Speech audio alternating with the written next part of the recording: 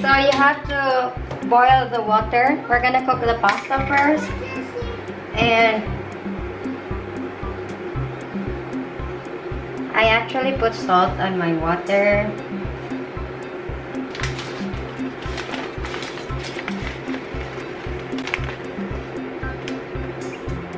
So I'm using um, linguine. I'm not um, linguine type of pasta. This.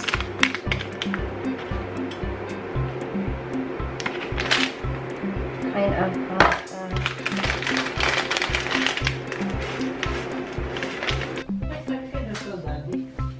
So I think the pasta is already cooked. I'm just gonna transfer this to a bowl because I'm actually gonna use the same pot for the sauce. I'm just gonna clean it up after.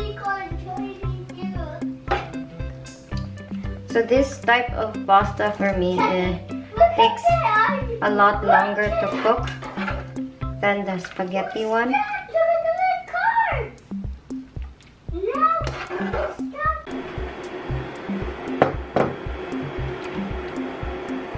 So I have my olive oil. So I'm going to fry the Swedish balls first. I mean the meatballs.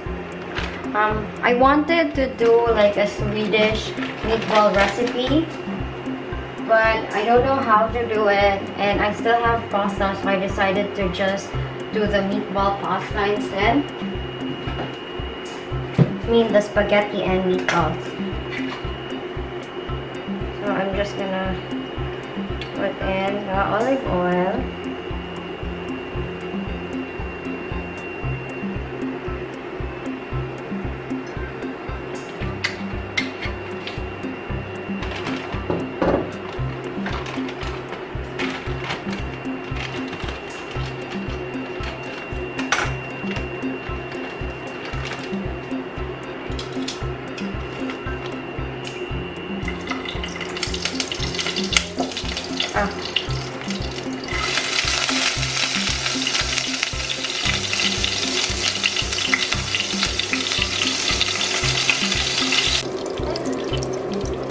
So I'm actually just frying the meatballs first with olive oil. Um, I actually didn't use up everything. There's still a few meatballs there because it's just really a lot so I can still cook this up later. So once it's a bit cooked, I'm going to put my Papa Alfredo tomato and garlic Italian pasta sauce. So this is also suitable for vegetarians. They're suitable for vegetarians. Now time to put in the sauce. This is tomato and garlic pasta by Papa Alfredo. I'm just gonna drop it.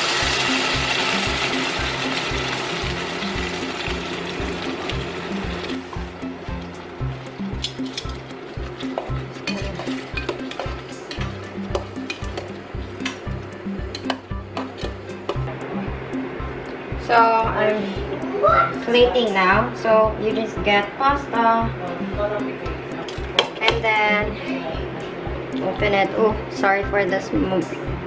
Look. We're just gonna put in the sauce.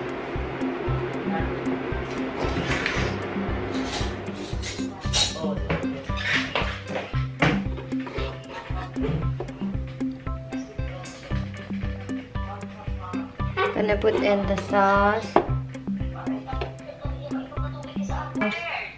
And then we're gonna put in parsley.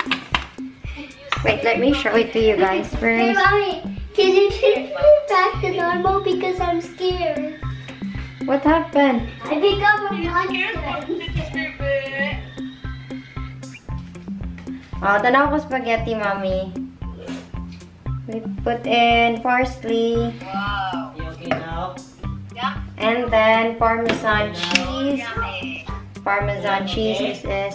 Are you okay or no?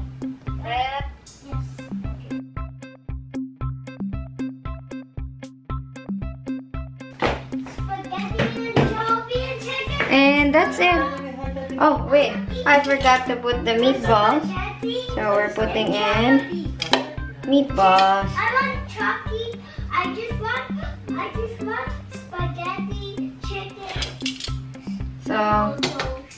That's it. So here's my finished spaghetti with Swedish style balls from Quorn. So this is really spaghetti with meat-free balls.